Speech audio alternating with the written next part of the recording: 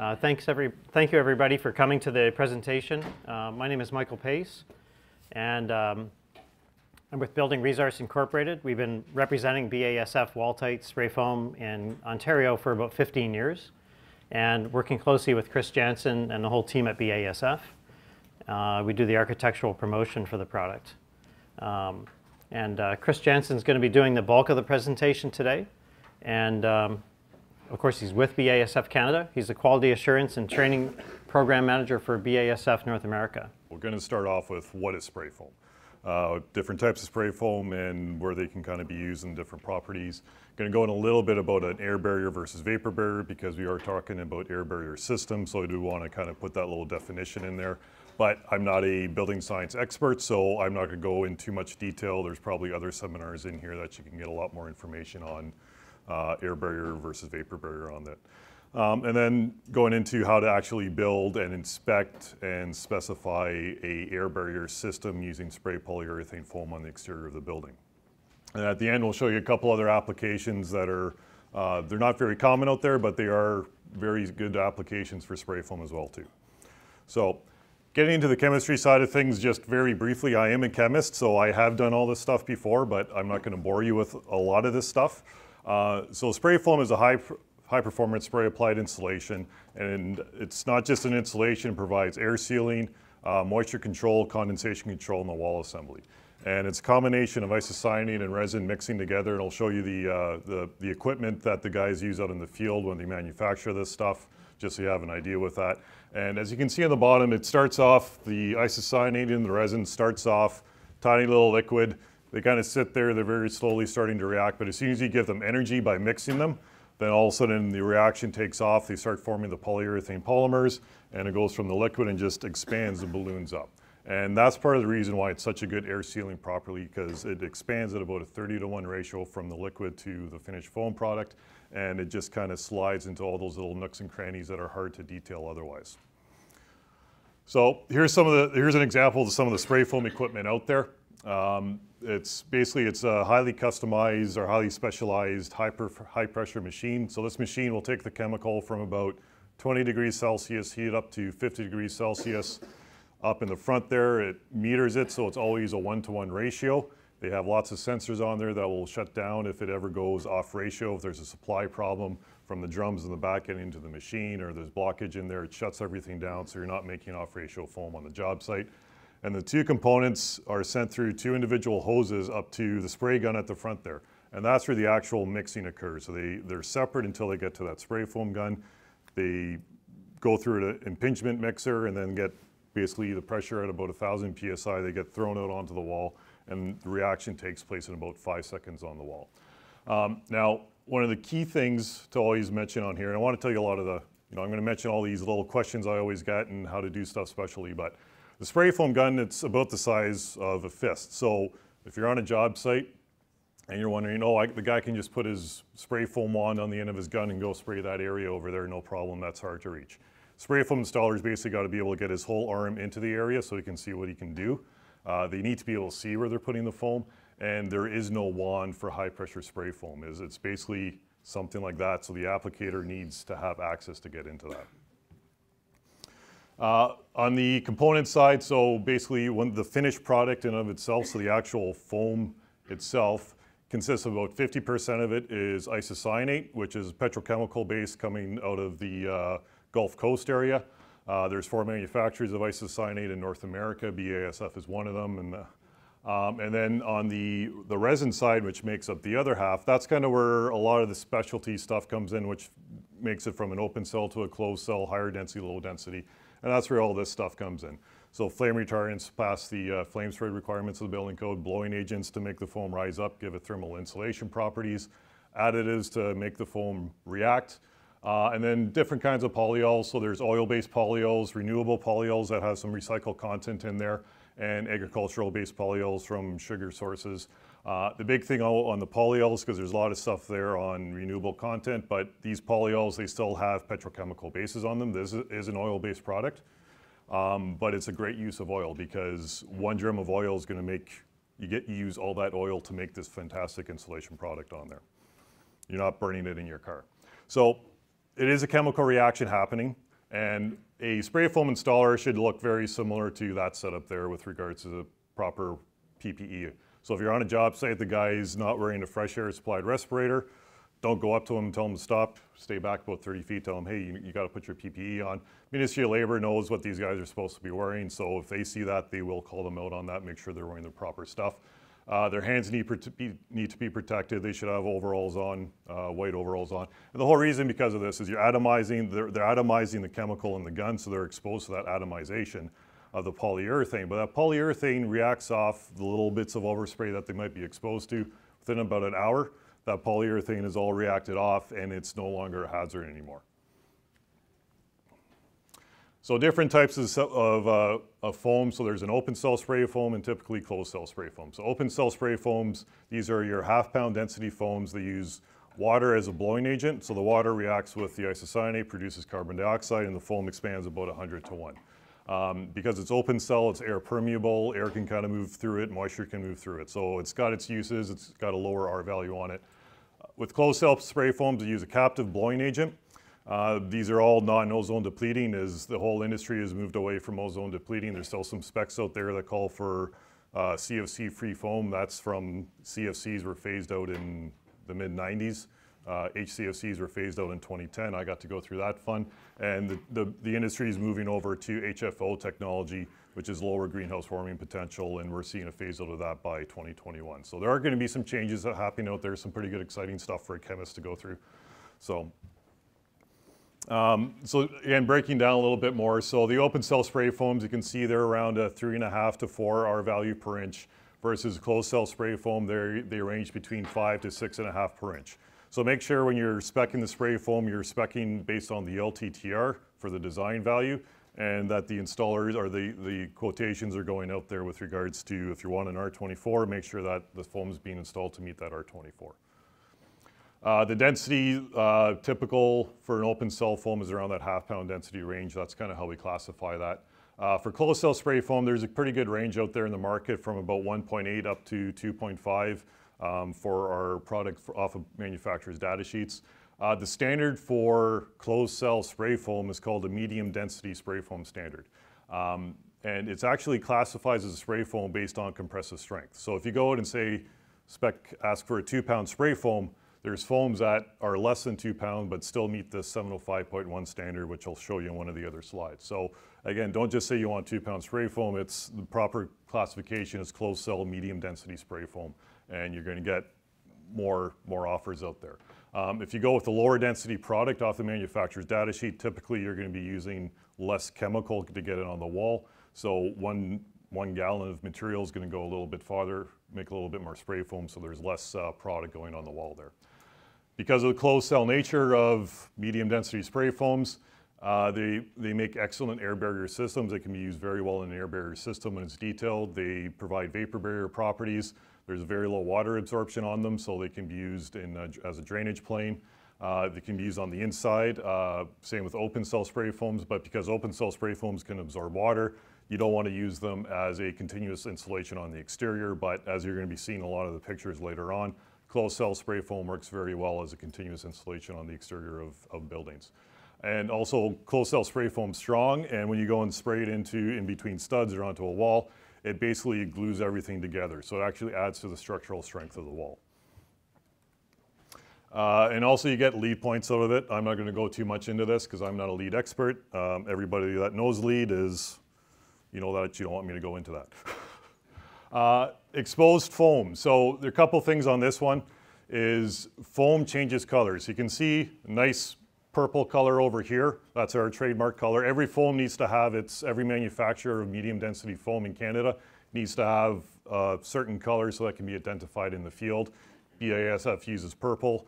Uh, the whole point of this is because an architect or specifier or a uh, inspector, when they go to a job site, they want to be able to look and see what kind of product it is. So by knowing what color it is, then you know who the manufacturer is of that product. But the color of that surface, I know on our spray foam, in about a day, it goes from a nice bright purple over to a gray color. And that's because the sun's hitting the surface and the like 1 16th of an inch of that spray foam uh, starts getting degraded a little bit and that color changes from, for us, from purple to gray to kind of a yellowy color within about a week. So don't be shocked if you go to a job site and the color is not what you're expecting. All you need to do is go scratch the surface and you can see who the, what the color of the spray foam is. Uh, spray foam also needs to be covered. It is a thermoplastic insulation, so as per the building code, it needs to be covered with some sort of thermal barrier depending on your design. So there are limitations as to what kind of buildings these can be going into, especially with combustible construction. But typically behind uh, masonry walls, there's no issues with using spray foam in there. So some of the standards used in the industry. So 705.1, this is the material standard. So myself as a chemist and a manufacturer, I look at this standard and see what's the table of properties I need to design my system in order to meet these, uh, meet these standards. Um, the 705.2, this is basically an installation standard. So my installers who I train and uh, use a third-party certification organization to basically confirm that these guys are trained and know what they're doing, they need to install the product as per the 705.2. And in that installation standard, there's stuff, what kind of quality control checks they should be doing, how to be a certified installer, uh, substrate preparation, that kind of stuff that the installer needs to be knowledgeable about um, in order to make sure that the spray foam works properly and is used properly in the field. So we'll get a bit into that a little bit later as well too. And then the LTTR standard, so this is, it's about, in, in the industry for probably about 10 years now where it's been used. Um, so this is typically used for the design insulation value in buildings. Uh, so it's make sure when you're referencing the R value, look for that LTTR value for the design purposes, not initial R value, not aged R value. Those are typically numbers that are used out of the US. So make sure that you have that LTTR value when you're looking at specification, what kind of thicknesses you're using, because that's a sure sign that it's a Canadian branded foam system. Uh, and then getting into the air barrier side, again, some relatively new standards. So the ULC 741, this is for an air barrier material, and for ULC 742, this is for air barrier assemblies. Uh, I'm not really sure what they're called as a specification on there, because basically it tells how these materials are supposed to be tested uh, and tested together in reference to the building code. So now I'm going to get into a little bit of the building science. Like I said, this is just kind of an introductory because I'm not a building science expert. I know enough to be dangerous, but I also know enough not to try and do too much building science on it. But um, as you guys know, is stuff wants to go from an area of high concentration over to an area of low concentration. Everything wants to be in equilibrium. So heat wants to go inside a building if it's wintertime like we are today. Stuff, the heat in the building wants to make its way out. Air in the building wants to go from high pressure to low pressure. Uh, and moisture, your moisture content in here, the relative humidity wants to make its way through the wall and get outside of the building. So everything's going to do that area of high pressure over to an area of low concentration on that. Uh, on a vapor drive, so vapor diffusion versus air leakage and why it's different, make sure that vapor barriers and air barriers don't need to be the same thing. A lot of them are very, do the same properties, but vapor drive moves vapor from an area of high concentration over to an area of low concentration, and it's a slow process. So there's not a lot of moisture, there's not a lot of pressure pushing moisture through the wall. It's basically just straight equil equilibrium process going through the wall. And it does not change the dew point location within that wall because it's just slow vapor moving in there. Now, air leakage though, a lot of that depends on what's happening in that wall assembly, how much air pressure, how much wind is being loaded onto that wall. And because of that, airflow has the ability to move a lot more moisture going through that wall assembly.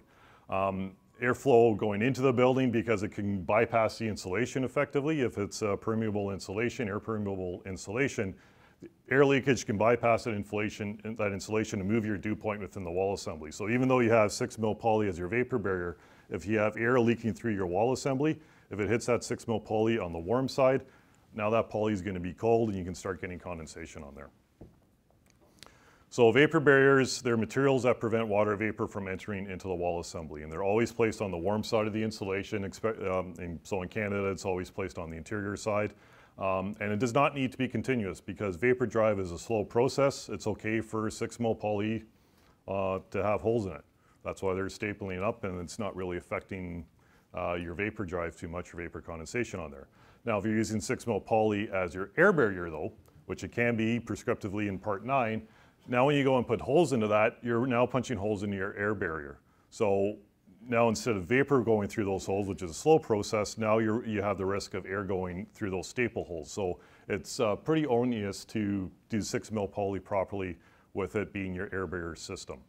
Um, so an air barrier is basically to prevent air from entering into that wall assembly to begin with. And it can be placed anywhere in the building envelope. It doesn't need to be on the warm side of the insulation. It can be anywhere within that building envelope to function as an air barrier. But the continuity is critical, uh, and not just on the wall, but how do you tie it into the foundation assembly? And really importantly, that I've seen a lot of confusion is how do you tie it into the roof assembly? Um, being part of the RCI is seeing there's, there's a difference in what building envelope consultants with walls, they know what air barrier systems are and how it's supposed to function on the wall, but it's always that transition going from a wall onto a roof, especially on a job site. Is it the roofer's responsibility or is it the wall, wall guy's responsibility to tie those two systems together? So, yeah, it, that's so that's one of those critical things that your envelope consultants or architects make sure that that's kind of specified as who's responsible to tie that into. Um, from a water shedding standpoint, it makes a lot more sense for the roofer to tie into the into the wall membrane because then they're lapping their system down over top of the wall. But um, so another thing that moisture is going to do, moisture in the air, is it's uh, it's going to permeate through porous materials and it's not going to condense in a porous material, it's going to condense on the first surface that's solid and below the, below the dew point. So here you can see there's no poly vapor barrier, there's no vapor barrier on there. So nice warm on the inside, cold on the outside about minus 12. So your dew point is typically these kind of conditions is around four degrees Celsius. So the any kind of moisture in the air, moisture content is going to move through the walls, going to move through the fibrous insulation. It's not going to condense there, as we know that dew point is going to be somewhere in that insulation. It's not actually going to condense in there. It's going to condense on the first impermeable material, which is typically the sheathing then, the wood sheathing in this case. So it's going to condense on there. If it's cold enough outside, you're going to get ice forming on that. Um, so how do you reduce moisture and reduce condensation in your wall assemblies? Well, and you can use interior ventilation to reduce the relative humidity. This is something important in pool applications where you're, you're very high relative humidity. Um, you want to ensure that you have an airtight envelope, raise the temperature of that first surface where condensation can occur, and allow drying to the interior of the building. So how does spray foam do all that? So again, here's, we're spraying foam on the outside of the building here. Well, you spray, spray your foam on the outside and use spray foam as a continuous insulation, or you spray it on the inside because it's a vapor barrier, you're increasing that temperature of uh, where that, that first temperature where uh, surface condensation can occur. So now it's always your surface, your first permeable surface is not going to be above your dew point because your insulation's on the outside, everything's nice and warm on the inside where that moisture can hit. Um, it's a seamless air barrier when it's applied on the outside. Uh, the guys just kind of keep on going and makes a nice, everything ties into itself, all the passes. It can provide a secondary drainage plane behind the cavity wall or masonry wall cladding, and it produces an airtight envelope. And because of that airtight envelope, then it reduces the chances of air changing that dew point location. Because it's an air barrier material, the air is not going to move your dew point around in there.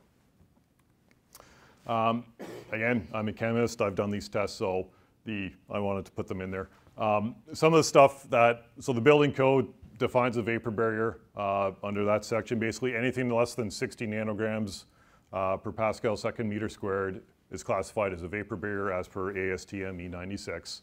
And it also, the, the code also says where the insulation functions as a vapor barrier, it needs to be thick enough to meet the requirements of the sentence. So with spray foam, medium density spray foams, as per our 705.1 standard, any, any 705.1 medium density spray foam in Canada as long as it's installed at two inches, it's going to classify as a vapor barrier because it's going to be less than 60.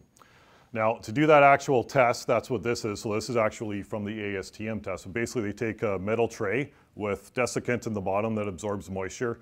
You put your vapor barrier material on top of the tray, seal it up, and the tray sits in a room at 50% relative humidity and 25 degrees Celsius.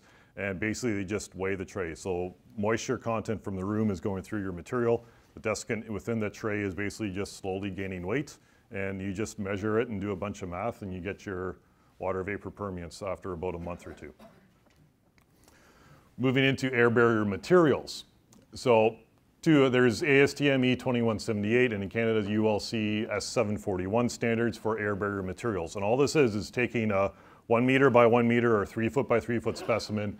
They do a little bit of pressure cycling on it, not a lot, but then they remeasure air leakage at 75 Pascal, and if it's less than 0.02 liters per meter second squared, I believe it is, it qualifies as, air, as an air barrier material.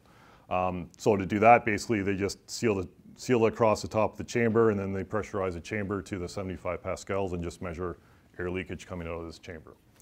So that's an air barrier material. Now an air barrier system contains a whole bunch of different air barrier materials to make up the system. So um, it refers to the assembly to provide the continuous barrier. So the, the, one, one example somebody told me is basically if you take a pencil and draw it along your wall or along your drawings, your, air, your pencil should never come off for where your air barrier system is going. So you can have different components in there to make up your air barrier system, but they're all a couple different air barrier materials to make up that system. And again, there's two standards. In Canada, we're using the ULC 742. In the US, they're using uh, ASTM 2357. Essentially, there are very similar test methods with regards to what it looks like. Uh, the Canadian standard, there's usually a little bit more recycling involved on that. So there's two walls that they test. One is just a solid wall with no openings, but that doesn't look good. This is an eight foot by eight, foot wall with openings in it. So uh, square and round conduits, brick ties, windows. So basically everything, they're trying to simulate everything that can be happening on a job site that's what they're simulating in the lab so that you can come up with a design value for what should work as your air barrier system. So there's a lot of detail that goes along with getting your system to work in this, different components involved.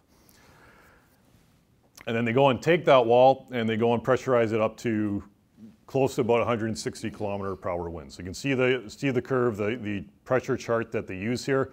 They start off lower cycling con conditions and they go and ramp it up towards the end of it to these 160 kilometer per hour winds. And these are, this is enough pressure that uh, 20 gauge stainless uh, galvanized studs, 2x6 studs uh, with exterior gypsum and spray foam, that's enough to actually flex the wall about half an inch to three quarters of an inch in this test assembly. So this wall is moving as it goes through these pressure cycles. After that's all said and done, they bring their chamber down to about a 75 pascals and measure how much air leakage is happening between the befores and the after the cycling area and that's what qualifies it as an air barrier system. Uh, to put that into perspective, so that's about a 40 kilometer per hour wind, but it's already gone up to that 160 kilometer per hour wind gusts. Uh, blower door tests that are becoming more common in the residential buildings, those are done at about 50 pascals, and that's equivalent to about a 32 kilometer per hour wind. So getting into how do you build a system with uh, closed cell spray foam. So you need manufacturers have done some sort of testing to give you some kind of design criteria, some kind of design background. So there's going to be different approved substrates, um, gypsum board, concrete block, poured concrete. Um, there's going to be accessories like caulking and backer rod or compressible insulation for different areas. And I'm going to show you some details of where these things can go. But the big thing other than the spray foam is transition membranes. And transition membranes is actually one of the harder things to do properly in an air barrier system with spray foam, let alone in any kind of air barrier system is putting those peel and stick membranes down properly. Um, so guys that are building envelope consultants walking around, I'm hoping that you'll pick up some tips for me that you'll be able to see guys doing work out there and make sure that they're doing stuff properly. Um, and then of course the last thing to go on there is a closed cell medium density spray foam.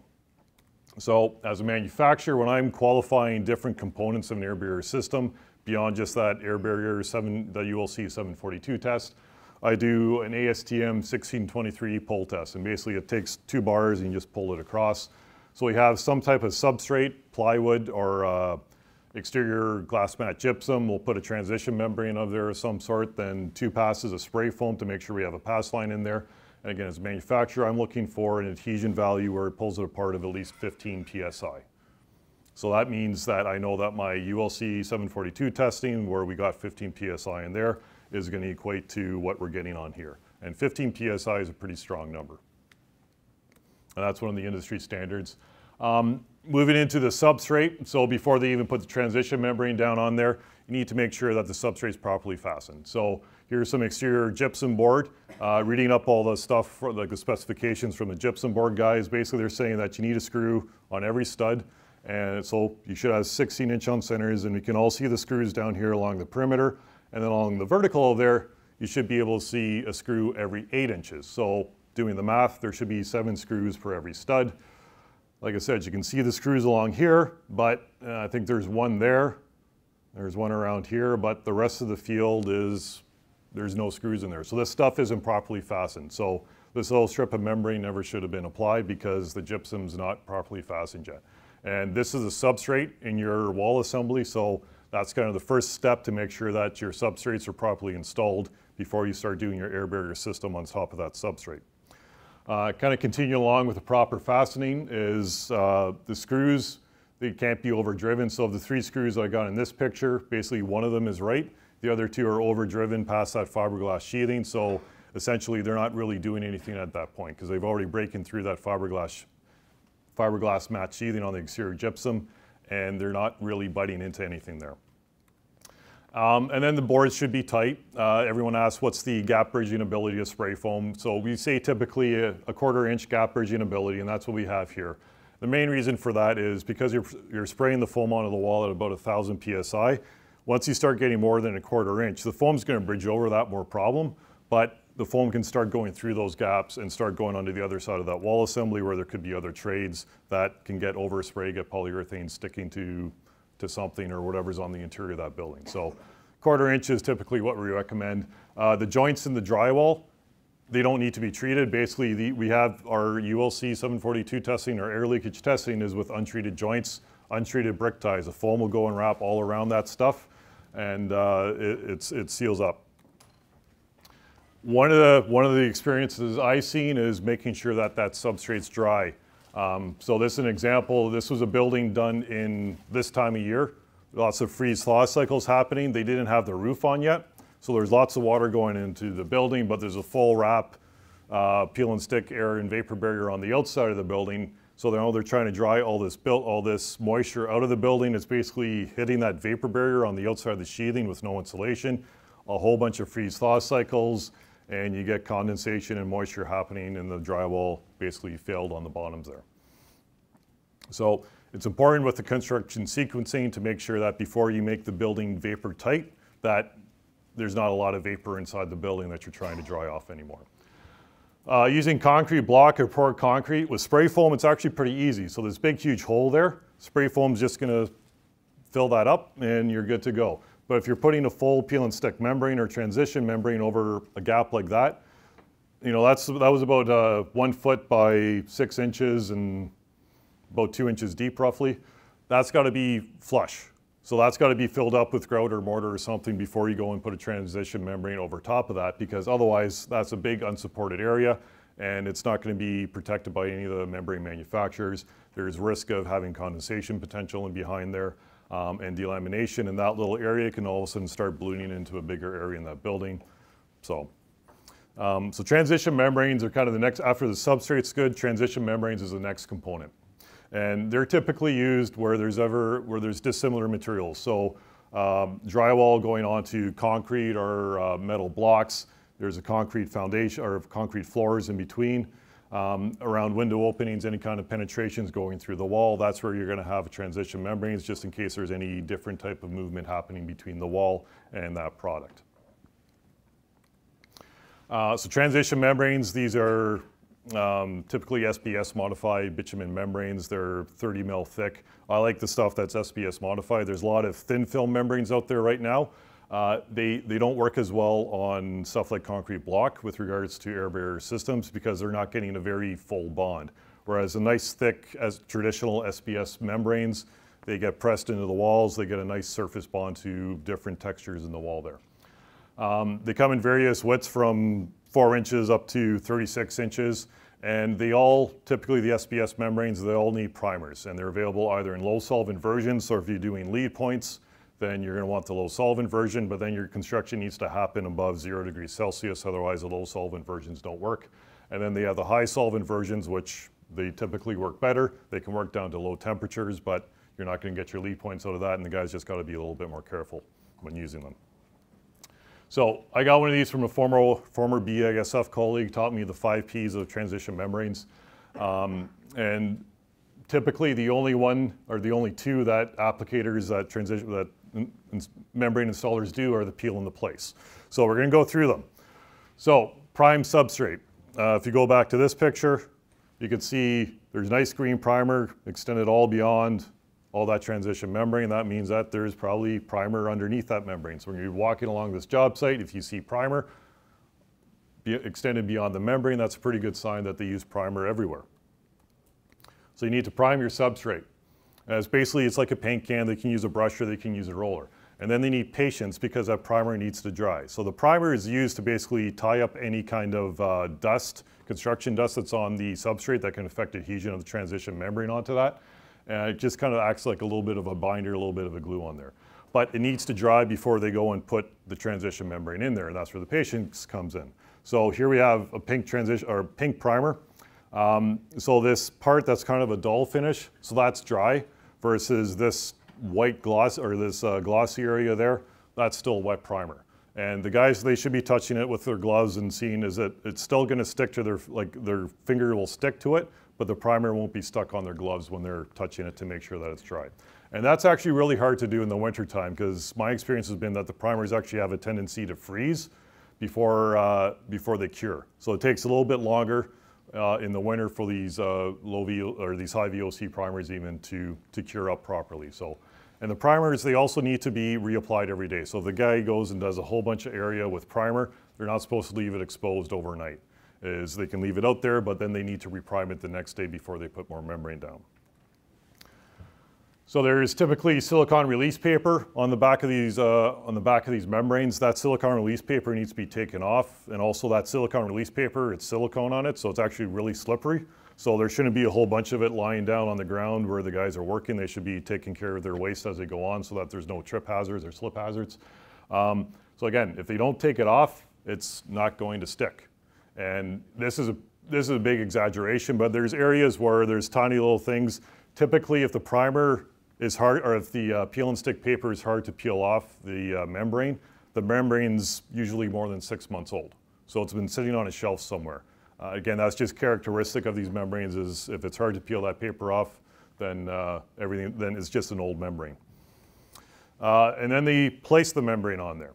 Um, this is the easy part. Everybody thinks they can do this part, but you're going to see some pictures of stuff that is done really well versus some really bad placements.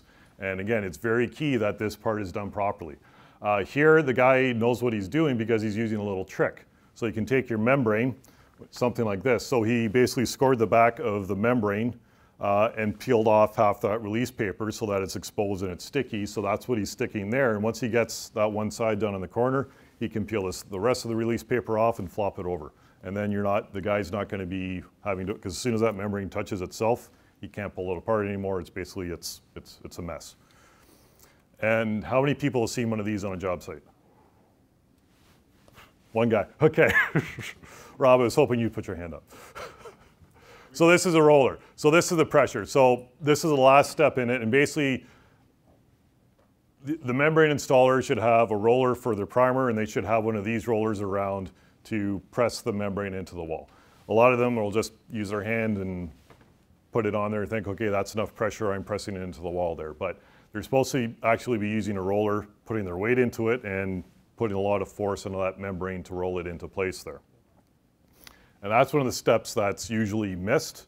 Um, and it's uh, not sure why. It's just guys, it's one of those things where the guys are cutting corners, the installers are cutting corners, and they just don't do that. But it's actually easy to inspect for because you should see creases in the transition, in the membranes if they've been rolled properly.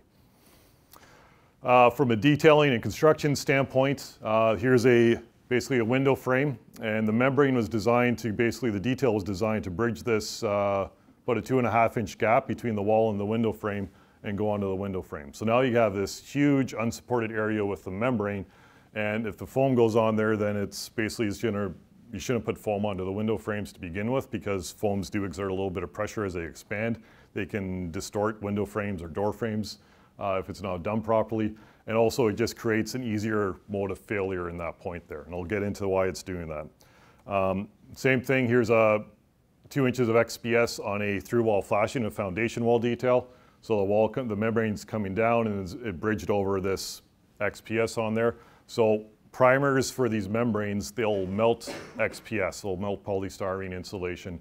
So you can't really put a membrane over top of it, especially in this kind of an area here. So nothing, the membrane's not stuck there. And again, that's a critical area that, that needs to be detailed properly to make sure the spray foam performs there. Uh, if you're going to do something like that, then you're going to want to use metal flashing to basically bridge that membrane over top of that XPS there. No matter what kind of, not just for spray foam, but any type of uh, insulation system where you're using full membrane wraps, you want to make sure that it's, that's properly detailed with flashing to support that through wall flashing going over that properly.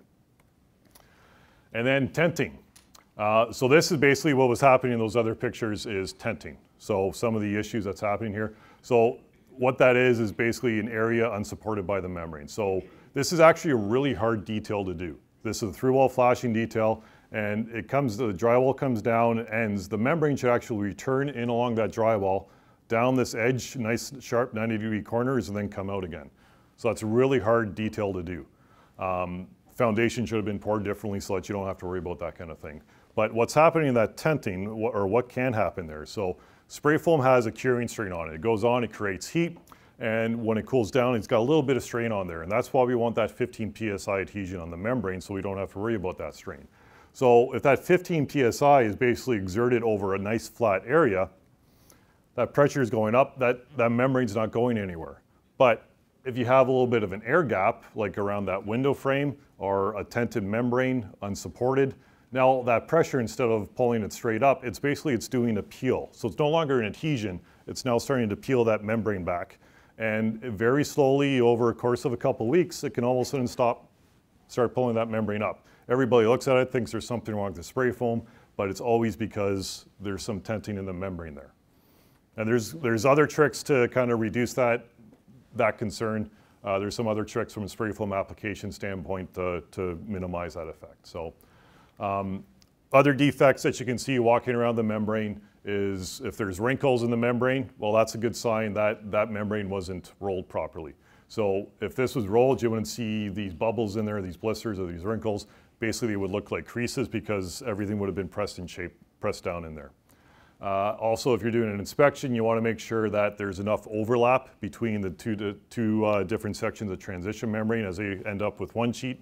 There should be a two to three inch overlap between the two membranes to make sure that it's, you keep that uh, continuity there. And that's a very easy, if you can't see it, you can usually run your finger up there and you can feel that overlap very quickly. And then uh, fish mouths. So this is an example of some very, this is a through-wall flashing detail and it was ugly. Uh, that was very representative of the, of the project I was on. So they had to redo this whole area. They had to rip that area up. But basically there's fish mouths everywhere here. Their concern with this is usually a through-wall flashing that's going to be done towards the beginning of the job, and they're not going to do any spray foam that for probably a week or two after this goes down because there's additional work that needs to be done with regard before the spray foam rig mobilizes.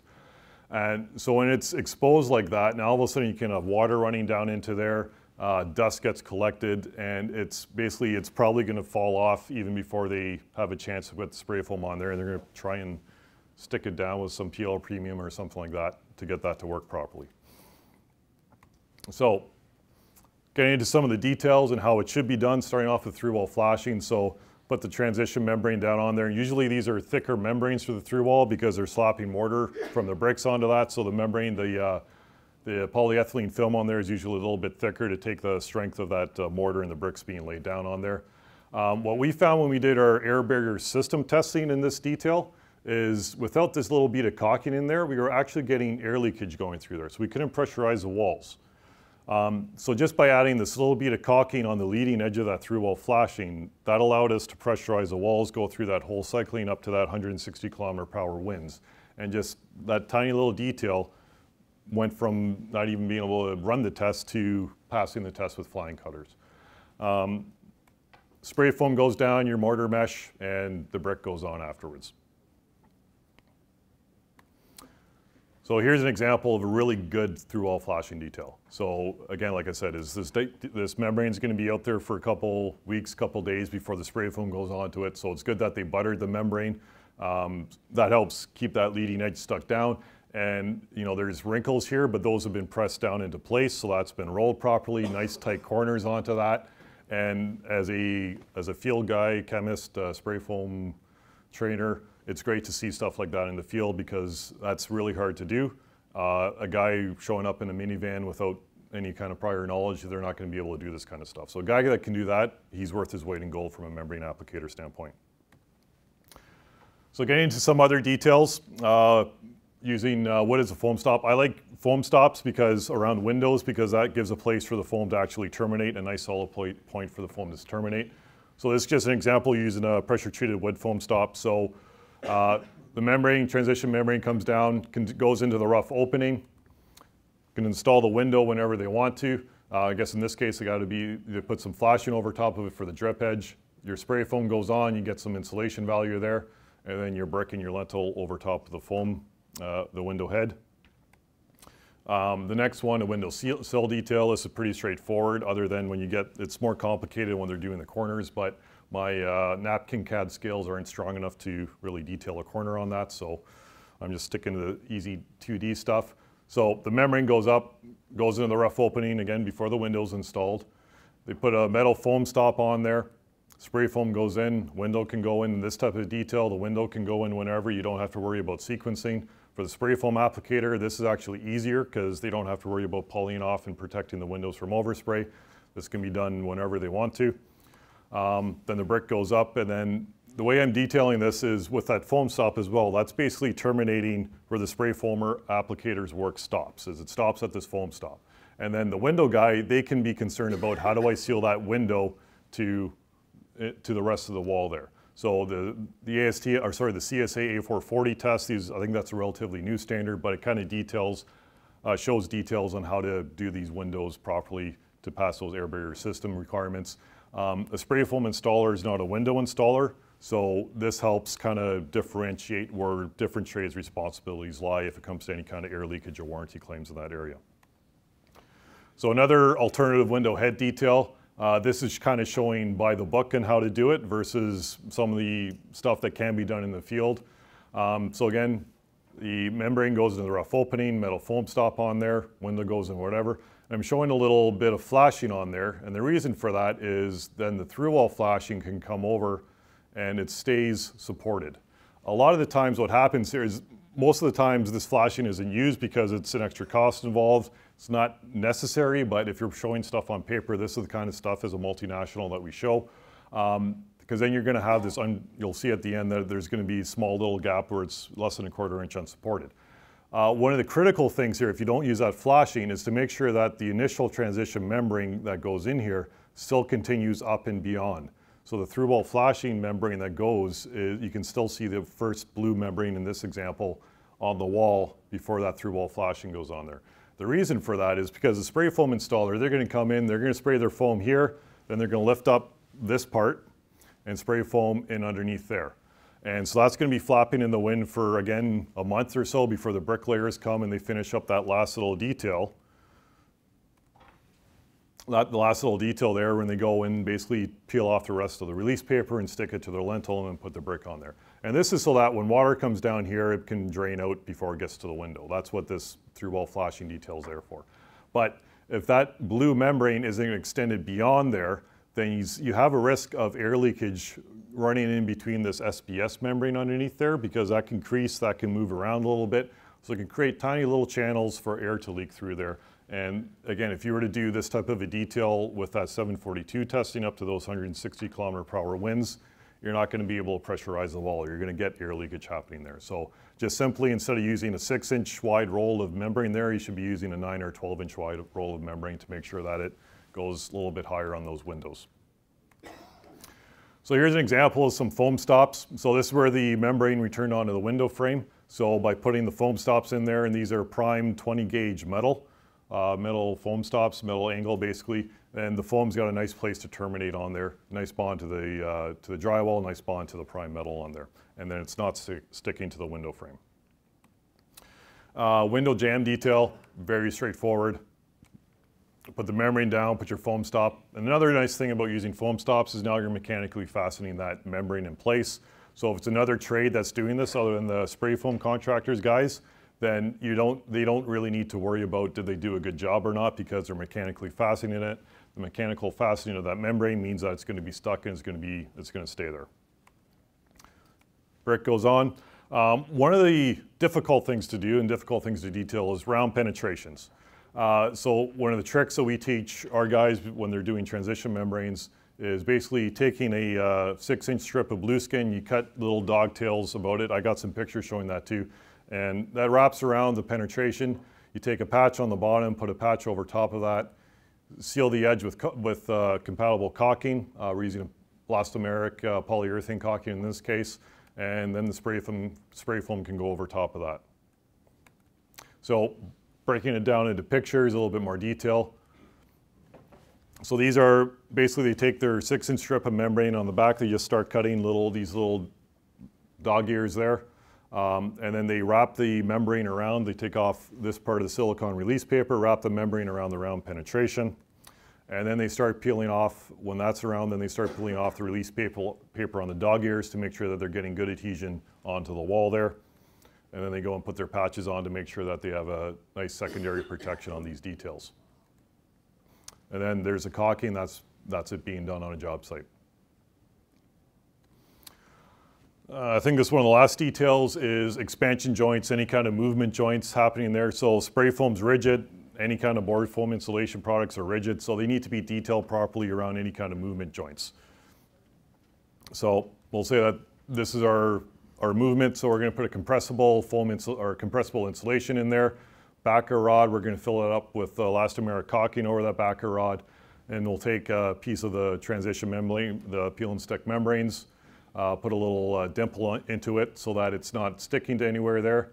Install our foam stops and then put your spray foam over there before the brick goes on. So this is allowing for these two walls to move independently of each other. So the spray foam is still, you know, your air barrier system now is running through the spray foam, hits this transition membrane, and then here's your continuity before it goes on to the next section there below the control joint with, with more spray foam insulation. So now that we kind of talked about how to build these walls, a little bit about what to, if you're a building envelope consultant or an architect, how, what kind of inspections should you be looking at? So, um, you know, recently I got a small kid, so there were a whole bunch of these uh, kindergarten additions going on within southern Ontario where they were building walls with about two or 3,000 square feet of cavity wall insulation that needed spray foam. A 3,000 square foot job, a spray foam applicator can do that in two days. Uh, there's a lot of specifications saying that there should be inspections at 5%, 50%, and 95%. So basically the inspector's on the job the whole time that the guy's supposed to be doing a spray foam application. So that doesn't really make a lot of sense. So don't just, if you're asking for inspections, don't go based on 5%, 50% completion. You can ask for inspection of the mock-up so everyone kind of knows what's going on if it's a big wall assembly. Otherwise, if it's, you know, standard construction less than 25,000 square feet, for us as a manufacturer, we're recommending one inspection for the membrane if it's our air barrier system, one inspection for the spray foam. And then basically that increases for roughly every 25,000 square feet. So just to give you a little bit more idea as to what kind of frequency versus just a 5, 90, and 95% completion rate. Uh, so when, we're, when we have installers installing our CCMC, our fully tested air barrier system, we're asking that they do uh, basically a quality control records or a daily work record. And basically all it is, is it's a checklist to verify that they're installing the product properly, recording what kind of environmental conditions. If it's raining, they weren't out there installing membrane to the substrate. They should say the substrate was, was dry. They're using the right kind of primer, getting the right kind of overlap on there. So uh, the installer should have some kind of checklist that they're doing stuff properly. What kind of works are, work are they doing? How far did they get? What, uh, what areas of the building did they do that day? Um, some of the responsibilities of the membrane installer is basically they got to verify that the, uh, everything was done per the air barrier guidelines, uh, done as per the assembly, done as per the tested specifications on there, and then filling out the, uh, the work records, the quality control records, if that's what they're doing. Um, uh, again, for our air barrier system for BASF, we're actually asking that the installers either test the adhesion on site using uh, pull testers, and I'll show you some of that, or that they mechanically fasten the membrane.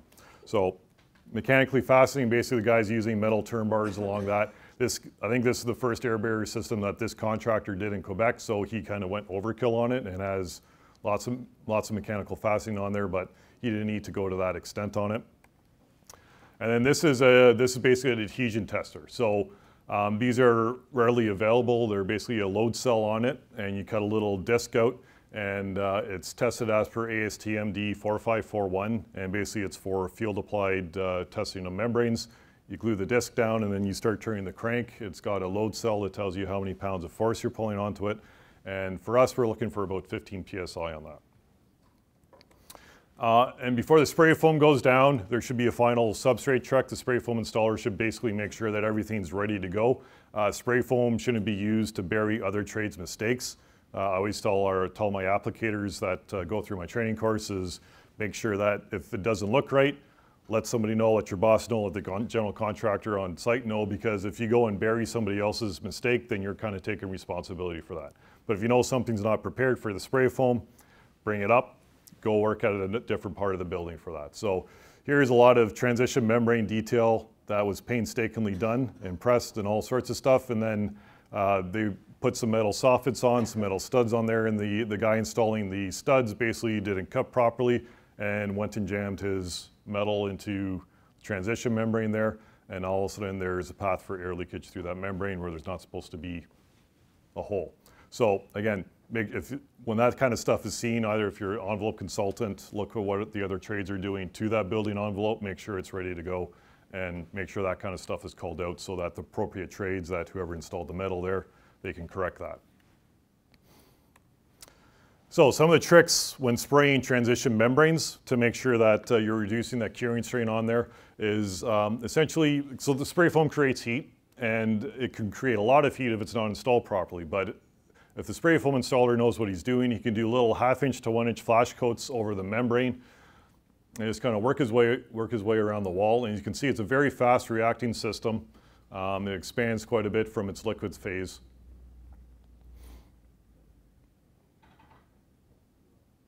It's a really low window or a really tall installer, I'm not sure.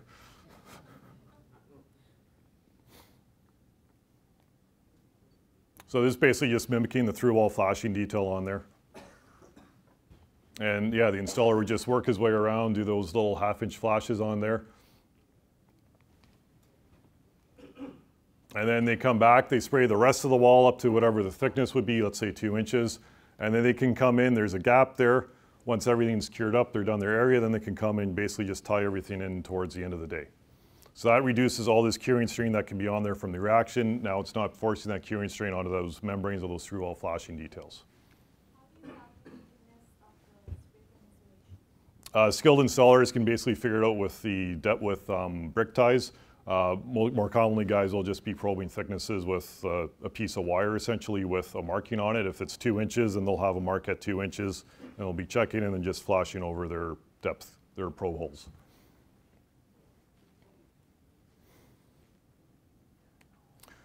So from a spray foam standpoint for quality control, um, they're, they're required as per the application standard, they're required in their train to fill out a daily work record every time they do a job every day.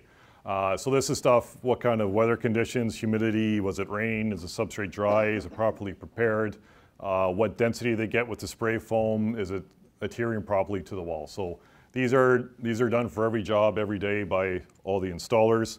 Um, one of the other key things with the 705.2 installation standard is that these installers need to be independent, independently certified. So as a manufacturer, I can train the installers, but I use my certification body to basically independently certify that these guys know what they're doing. So it's a third party.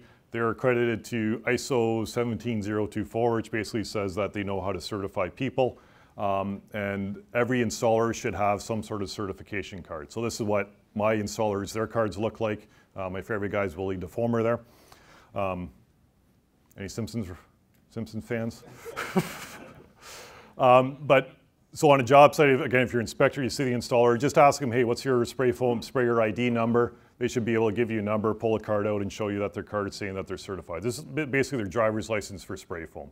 And on their card, there should be a method on how to check with the certification body to make sure that their certification is up to date. So here it's uh, basically a QR code you can scan with a smartphone, goes to a website for that applicator and gives you a check mark or an X basically. So, so with that, I'll turn it over to Michael, talk a little bit more about uh, different applications and different projects there. So Chris did the bulk of the presentation, and uh, thank you, Chris. It was excellent. I, was, I learn something new every time I see your presentation. Um, I'm just here to show you where to use it and maybe give you an idea of uh, some takeaways, some resources that we might be able to offer. So um, of course you can use it in all sorts of different areas in cavity wall, whether it be in residential or commercial, but if you're putting all the insulation outside of the substrate, you can use it there. You don't need to use a full membrane wrap, as Chris mentioned. You can use our air barrier system where you're just using transition membrane and then the Walltite. And this is giving you air control, vapor control, thermal control, and uh, also a drainage plane. Um, compared to other systems that you're familiar with where you have, have a full wrap, uh, our system is much simpler.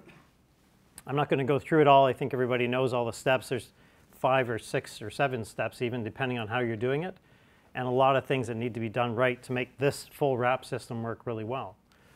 With our system, there's very few steps. Basically, a lot less membrane, so a lot less primer, and then the Walltite basically does uh, takes the place of many of those many of those products you saw in the previous slide. So it's a lot simpler. It's a lot faster. We've heard general contractors say it's three to three to five times as fast as using the traditional system. So we're the friend of general contractors, and we're also we're also giving good performance, and it's also very competitively priced. Uh, there's an example of a uh, job that's Woodstock Hospital, and I think there are around 150,000 brick ties on that job. And because we're using Walltite here, we didn't need to detail every brick tie. Uh, you can also use it on either side of the sheathing, and this is a system we see in retail. We do a lot of banks, namely Scotiabank. We've done some CIBCs, and also retail, where they, the floor space is at a premium. So they're trying to make their walls a bit thinner, free up a bit of floor space. They can make more money on their lease. So we say, okay, fine, put about one or two, possibly three inches on the outside as continuous insulation, knowing that that's going to be really effective because it is continuous, and then put the balance between the studs to get up to this, the code required R value. So this is perfectly a legitimate way of using spray foam. We've been doing this for over 10 years. It works well in that environment. So it makes a thinner wall. It's better, of course, to put all the insulation outside of the sheathing, all continuous, but in, in retail, they want to max out that floor space. So this makes sense. Um, and then on the interior precast panels, interior of spandrel panels, and curtain wall and window wall systems, we've done a lot of that over the years, so interior applications. Uh, knowing that when you do this, the foam always has to be protected from the interior environment by a layer of drywall or a spray applied thermal barrier. You should never be able to go into any building where spray foam has been used on the inside and actually see any spray foam. It has to be covered by drywall or a thermal barrier to meet building code. So there's an example that's just uh, at Yonge and Bloor, just uh, four kilometers from here. The entire interior of all that precast is insulated with Walltite, three inches thick. Um, underside of uh, cantilevers or parking uh, garage ceilings, again, you can apply it overhead. It will bond to the concrete and will stay, stay in place. It'll stay put. But you do, need to in- include a uh, spray applied thermal barrier to protect it again from ignition.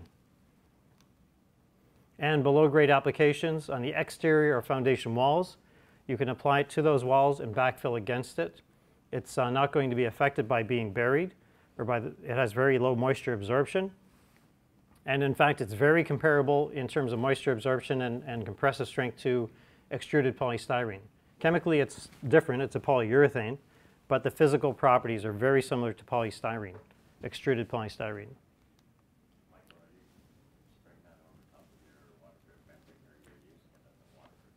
Thanks, James. Um, actually, it does, does not take the place of the waterproofing membrane. So if your water table or your water situation is such that you need a waterproof membrane, apply that first, and then apply the Walltite over it. If, the, if you're using like uh, gran, uh, granular B, like a regular backfill, then you don't necessarily need protection board. It's quite durable. It's 30 psi, so it's quite durable. If you're using parent, like reusing fill that was excavated from the site, there's boulders and such, you want to protect it. Like, can you spray to a mod bit membrane with a sanded surface? Yes. The Blueskin, we sprayed, a, we sprayed a Blueskin. In fact, one of the resources we have on our website is basically a list of all the membranes that we've tested, membranes and substrates. So it includes DensGlass Gold, glass rock, blue skin, Soprema's equivalent, all the products we've Membranes- tested. Membranes without a facer. That's right, polyethylene faced. Right under bitumen. That's right, polyethylene faced uh, SBS mod bits. Yeah, the sanded are better, but we bond to the polyethylene faced as well. So there's the exterior of a, uh, this is a school in Elliston where we insulated the outside of the foundation walls and also the inside of the foundation walls, underneath the floor of the building, and all the above grade walls. Uh, so there's the um, application directly to granular subgrade prepared, and then concrete's poured over it. There's an image of um, them pouring concrete over the, uh, the Walltite. So they can walk on top of them and like. Uh, Oh, yeah, yeah, it's uh, very much the same compressive strength as Dow extruded SM. for instance. What's the benefit then over extruded in this application? I wouldn't see. In this application, you could eliminate the need to use a separate polyethylene vapor barrier and the extruded. So you're taking two products out and using one product as a replacement. And um, it's more stable. So your subgrade is typically not prepared perfectly smooth. And if you're putting a rigid insulation board on it and walking on it, the boards are moving around, they could crack. It's not very stable. When you apply the Walltite this way or spray foam this way, it creates a kind of an insulated mud slab, if you will.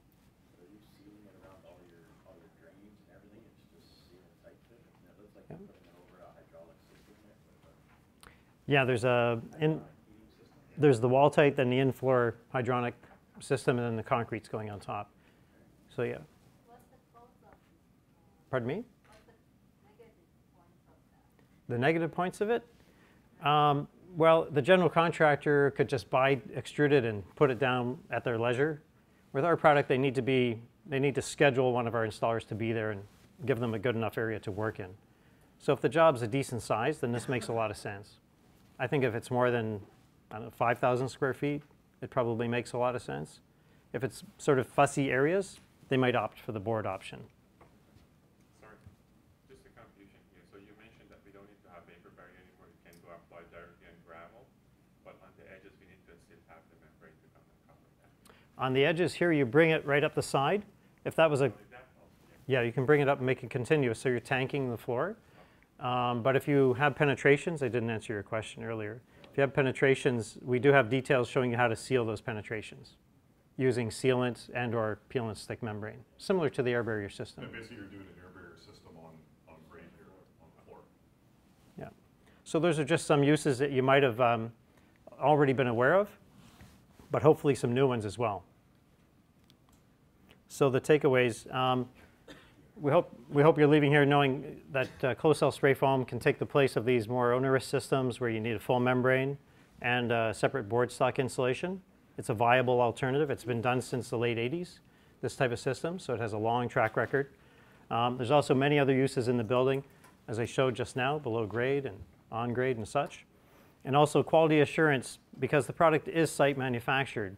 Having quality assurance, Chris's team, and people like that to support our contractors in the field, uh, you know, because this product is site manufactured, that's really critical to the performance. It's also very important that you choose a qualified applicator.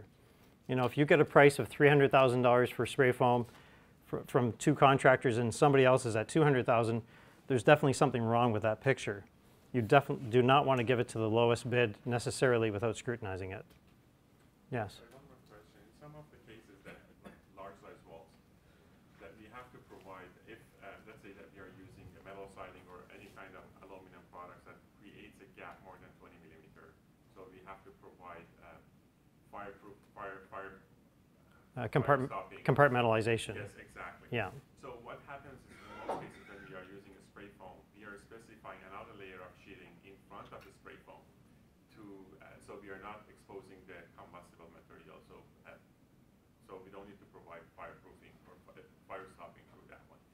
Having that second layer of sheeting, uh, is that gonna create kind of a problem with condensation?